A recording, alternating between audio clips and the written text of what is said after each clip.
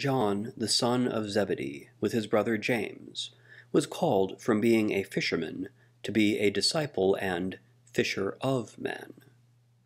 With Peter and James, he became one of the inner group of three disciples whom Jesus chose to be with him at the raising of Jairus' daughter, at the Transfiguration, and in the Garden of Gethsemane.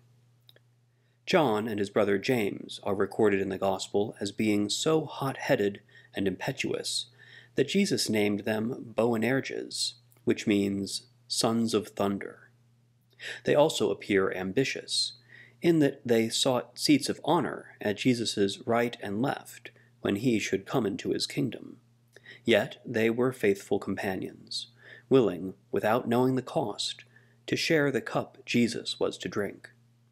When the other disciples responded in anger to the audacity of the brothers in asking for this honor, Jesus explained that in his kingdom, leadership and rule takes the form of being a servant to all.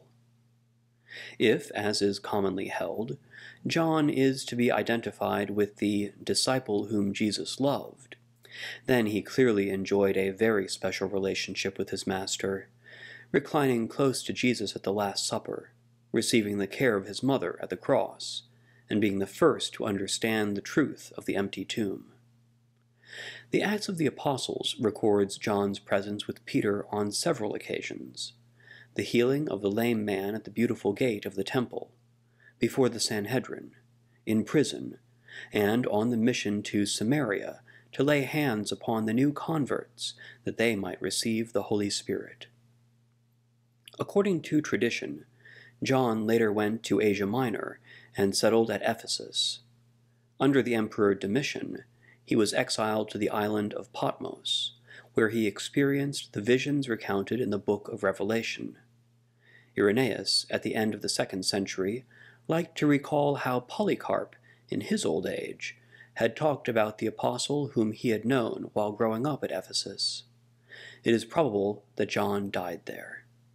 He alone of the twelve is said to have lived to extreme old age and to have been spared a martyr's death.